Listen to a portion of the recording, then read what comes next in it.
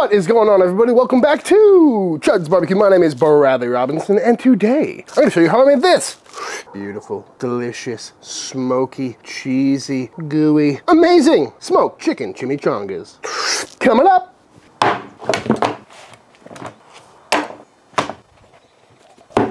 This is a chicken pat it dry. And what I got here is a pretty normal chicken weighing in right about five pounds. Picked this up at my local grocery store. Anything in there? Don't think so. But really, you can use whatever kind of chicken you like. Because today we're making chicken chimichangas. So you could get some skin on thighs, some boneless thighs, breast meat, or you could just pick up a rotisserie chicken. You know, we're trying to get some shredded chicken at the end of the day here. So I think I'm gonna keep it pretty simple today and give this thing a good old fashioned spatchcock, which simply means I'm gonna just go right down the backside here. You could remove that backbone, or you can just kind of leave it in there, which is what I'm gonna do. Really trying to make this easy. And then we can throw it on the pit nice and flat like that, and it'll cook a little bit more evenly and a little bit quicker. And we're gonna tuck these wing tips for a better presentation. And now what we're gonna do is throw some rub on this thing. So flipping it over, and we're gonna go on with some good old fashioned Chud's Barbecue SPG. Love a good SPG chicken. It's been a long time since I've done an SPG chicken, because ever since that snake bite came out, that's been my go-to. But today we're gonna go with some SPG. Just a nice even coating. Really it doesn't matter because we're gonna shred this up and mix it with a sauce and season it to taste at the end. But might as well start building those layers of flavor. Flip it over. And we'll do the top as well. And of course, folks, we're not gonna forget the sides because that would be a rookie move. And I'm also gonna do something which I haven't done in probably a couple of years, believe it or not. And uh, I'm gonna throw this on the offset. Again, the old snake bite and chud box chicken has really been my go-to because I think it is superior. But again, it's been a while since I fired up the old offset for a chicken. That's kind of what I'm in the mood for today. Add a little more smoky wood flavor to our chimichangas. And that is looking pretty much perfect to me. Let's fire up the pit. There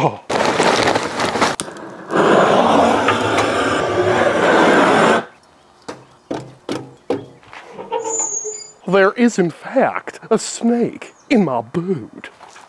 And on the pit we go. Got a nice post oak fire fired up here. And we're gonna put this guy a little bit closer than we normally would put a brisket or something. Breast meat towards the fire, just like that. And I'm probably gonna do a pretty hot and fast cook on this guy, around 300, 325. Just get some nice crispy skin, nice juicy chicken meat, and get a little bit of smoke on there. So we'll check back in on this in a little bit.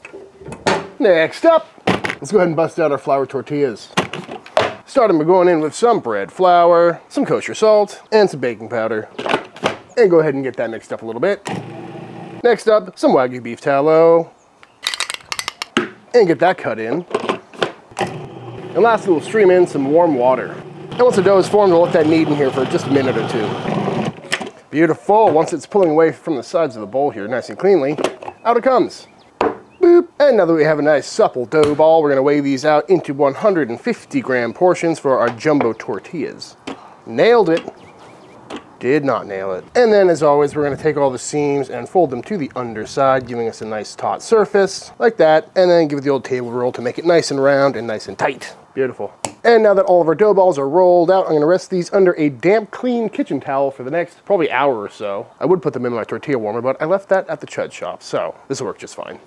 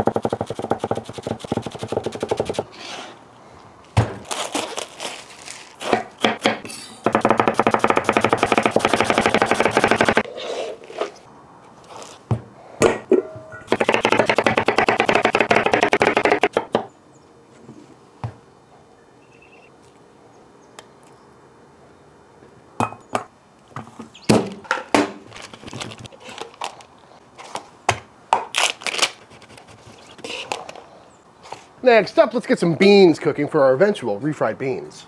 Starting going into this pot with some pinto beans. I soaked these overnight to speed up the cooking process a little bit. And just top those with some water. And now we're just gonna bring these up to a boil and let them cook away until they're feeling nice and soft. Next up, back to the old food processor here. We're gonna make a really quick salsa. So into the food processor, I'm gonna go in some Roma tomatoes, cube these up, took all the gooey seeds out. To that, I'm gonna add some diced up onion, some cilantro, some of our garlic, some jalapenos, lime juice, and a nice big fat pinch of salt. And just pulse that together. And just like that, this is good. I just tasted it, and honestly, it's really good. I just kind of eyeballed those ingredients, but you can dial it in to however spicy or limey or tomatoey you want this to be. But pretty happy with this. Beautiful. Next up, some guacamole. So to these avocados, I'm gonna go in with some diced up white onion, diced up jalapeno, a little bit of garlic, big fat pinch of cilantro, basically all the same exact things. Hit that with some salt, some oregano, some ancho powder, some cumin, and some lime juice. And just get that all mixed together, fold it up nice, nice, give it a taste, and adjust. Beautiful. Up next, we're gonna make a sauce for our chicken. Starting with going into a pot with some ancho chilies and a few chili de arbol. I'm just gonna dry toast these for a minute to waken up their flavors. And after just a few seconds of toasting, we're gonna go in with some water. Pop a lid on that, and we're gonna let these steep for about 10 minutes to get nice and soft. Now into our blender, we're gonna add all our chilies, Boop. as well as a little bit of the liquid. But mostly for our liquid, I'm gonna go in with some homemade smoked chicken bone stock. That should add a lot of body and a lot of really good flavor. And I was gonna go in with all the veg we just chopped up, some jalapeno, some onions, cilantro, all that stuff. But I figure, might as well just add some of this chunky salsa. Yeah, probably should have put this in before the liquid. As always, big fat pinch of salt. And to drive home the flavor profiles, we'll go in with some cumin, some oregano, and most of for color, a little paprika and get that blitzed up. Beautiful. Get that little taste. Oh, that's good. A little bit of heat. Ooh, those arbols. Kind of like a barbecue sauce, kind of like a taco sauce of sorts. I think this is gonna be really good on our chicken. Back over at the pit, our chicken is done and looking absolutely beautiful. Just a classic looking crispy skin, offset smoked bird. I have a whole video about this, pretty old if you wanna check it out with a little more detail. Took about two and a half hours and everything's rocking right around 170 internal, closer to 185 in the thighs. But now I'm gonna let this rest for a little bit because we need to check in on those beans. So to start things off, I'm going into this pot with a whole bunch of some pork lard. I suppose you could use tallow if you wanted, but lard is traditional. And we're just gonna let that melt down a little bit. And you wanna be super generous with the amount of lard going in. That's what makes refried beans so good. And once everything is nice and toasty, we'll go in with some onion and some of our diced up jalapeno as well. And once everything's cooked down a little bit, starting to take on some color, looking nice and translucent, I'm gonna go in with some garlic, as well as some cumin and some oregano. And we'll throw in a big fat pinch of salt at this point too, but we're gonna have to adjust this at the end anyway. And in this pot, our beans have been boiling for the last couple hours and they are nice and soft. I definitely overcooked them a little bit. You can tell because they're kind of blowing up a little bit, but that's kind of the point here anyway. So once they're pinching apart nice and tender, in we go. And you could strain these out first, but having a little bit of this liquid is gonna help thicken these up a little bit. And we're just gonna let these cook down a little bit, start trying to break them up. A potato masher comes in real handy for this because we gotta smash all these beans. And I'm also periodically going to start adding some more liquid until we get to the desired consistency. So at this point, they're all pretty much mashed, but it is super chunky. So to get them nice and smooth so they're spreadable, that's why we're going to start adding this water little by little to dial it in. I want them nice and creamy. And just like that, these are starting to come together. I'm not getting a full puree on these. And if I wasn't putting these in a chimichanga and I was just serving them normally as a side dish, I'd probably hit these with a stick blender to get them really nice and smooth. But having some extra chunks in there, I think is going to be just fine for today's application. And that's looking like a perfect consistency to me. So now we got to give it a little taste. Wow, that's hot. And just do final adjustment. Just a little pinch of salt for me. These are done. All right, now I got this chud press fired up and it's time to bust out some big fat flour tortillas. We'll start with the little guy just for fun. Ooh, taco squeal. First one's always a little dirty because I cook a lot of bacon and steaks on this thing, so that's why I started out with a small one. All right, now we're gonna go for the big boy, trying to get a nice big 12 incher. a lot of pressure for a tortilla this big. Ooh, oh, that's beautiful. Nice and thin, about as big as I could make it. All right, tortillas are done. Now I think it's finally time to pull this chicken, which is super easy. Rip these wings off. I'm gonna just go ahead and take this skin off, revealing a very juicy looking bird. Gotta love that. Nice, thin, crispy skin. Mm hmm But now I'm gonna go through, shred all this meat up. Ooh, a little oyster in there. Just feeling around for all the bones. Don't wanna bite into a bony chimichanga. Smells so good, nice and smoky. I really need to do more chickens on the offset. I mean, look how juicy that chicken breast looks underneath that tender. That is just lovely. You could chop this up with a knife if you feel like it, but I think it's pretty tender, so I'm just gonna get some nice shreddy texture that way. Just like that, big pile of shredded chicken. And you know I'm not forgetting about this skin over here. Just gonna run through that with a knife.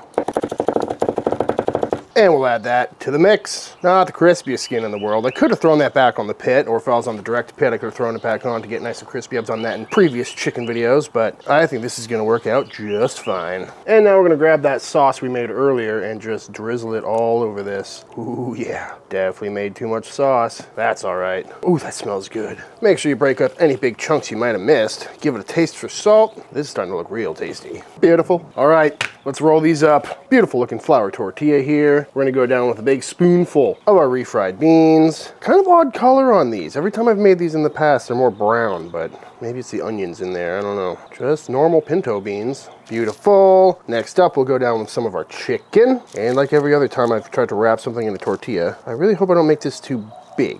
But that's why we made multiple tortillas. That looks pretty good. Now we'll go down with some Oaxaca cheese. Lots of cheese, folks. And some of our sharp cheddar. And believe it or not, that's it. So now we need to try and wrap this thing up burrito style. And because we're dropping these in the deep fryer, I need to do a really good job, otherwise we're gonna have a blowout. Tuck in the corners. Fold it all up and give it a roll. All right, that looks pretty good. Now, I was watching some videos that said if you bust out some flour and water, make a little slurry, you can paint this underside and kind of make a glue so it doesn't fall apart. Not sure if that's necessary or not, but hey, I already made it. All right, there we go. I gotta say, that's probably the best looking little burrito I've made on the channel so far. Love it. Make one more. Refried beans. Spread it out nice and thin, oh yeah. Layer of chicken. The Oaxaca will give it a really nice stretch, but that cheddar will bring home the flavor. That one might be too big. Tuck in the side, tuck in the side, and roll her up. Nice and tight. Paint on our glue and finish her off. Beautiful. That looks nice. But now we gotta drop these in the deep fryer. All right, got some beautiful chimichangas here. Now I'm gonna drop them into this deep fryer. Boop. And away we go. This is definitely the last day I'm gonna use this oil. It is rough. I was gonna clean it today, but all that veg chopping took longer than I expected. And after about, felt like five minutes, I'm just going by color here, but these are looking real good. So out they come. All right, let's plate up. I got some classic shredded lettuce. Make a little bed of that. Next up, we go down with our beautiful looking deep fried burrito here. That's a lovely looking chimichanga. I do say so. A little bit gigantic, but you know, gotta be done. Next up, I'm gonna do a nice drizzle of some Mexican crema, a nice dollop of our guacamole, a little sprinkle of that salsa we made, a dusting of some cotija, and lastly, just a little bit more cilantro. And there it is, folks, the chutty chonga. And with this other one, let's just go ahead and get a nice cross section, shall we? Oh, oh, that looks so cool. So cheesy, so meaty. Love that texture. It's got a nice little crunch to the outside and uh, yeah, I'm ready to dive on in. I mean, what's not to like here, folks? Beautiful smoky chicken, a whole bunch of cheese, and a Wagyu beef tallow deep fried tortilla covered in guac and ah, I'm ready. I gotta say, folks, I'm super happy with how these look. I mean, just the color, the cheese, the goo. I mean, that really is a sight of beauty. Let's go for it. Oh, that's hot.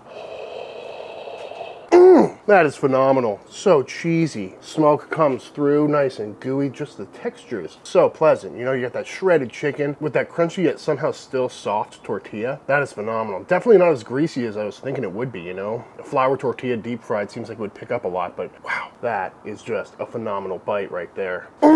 Do a little dip dip into that guac. That'll cool it down a little bit. Ooh, yeah. A little more cheese never hurt anybody.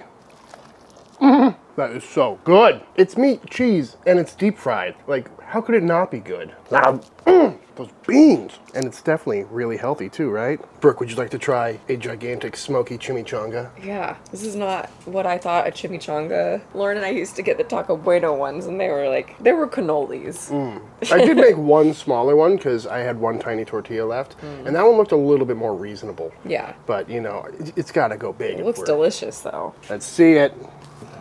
Good lord. Oh, so cheesy. Big bite of guac on there too. Spread it out like butter on toast. I can't even put. I. There's no way. I, will get you a napkin, right? Oh, jeez, I fell. Okay.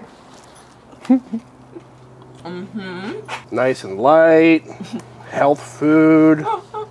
It is good though. Yeah, the deep fried flour tortilla worked out really well. I love a deep fried flour tortilla. Love the color on it too. Mm -hmm. Nice and golden. It's really cool. You can see like the outer layer of the tortilla where it got double wrapped, and then you still got a soft tortilla under it, so you kind of get both textures. Yeah, it's flaky. Ooh, that is a meal right there. I think half of one is a meal. Yeah. All right. Well, you're definitely gonna need your bibs for this one. Mm-hmm, Or just let them cool down a little bit. That's a problem with these uh, wrapped vessels. Like whenever I make an egg roll or a burrito or something, especially if it's full of molten cheese, it'll just stay hot for hours. Yeah, it's like the hot pocket effect. Hot pocket. Yum. Well, I think that's the Red Robin. Yep. yep. And with this last bite, it is now time for the official taste test. The cool part about these is they hold up really well. Like that little glue trick works really well. So you can pop these in the freezer, thaw them out, chuck them in the deep fryer, get diarrhea for lunch. the flavor on that chicken is really great. You know, that sauce adds a nice chili note, but it's definitely not too spicy and it's pretty subtle, but it just helps to moisten everything up. Nah, oh.